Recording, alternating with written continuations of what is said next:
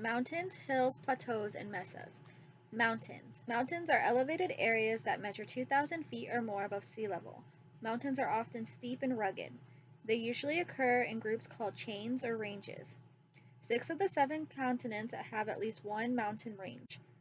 Mount Everest in Nepal and Tibet is the tallest mountain in the world with an elevation of 29,032 feet. The longest mountain range above water is the Andes in South America. They are about 4,500 miles long. Hills. Hills are at a lower elevation than mountains and are about 500 to 2,000 feet high. Hills are found on every continent.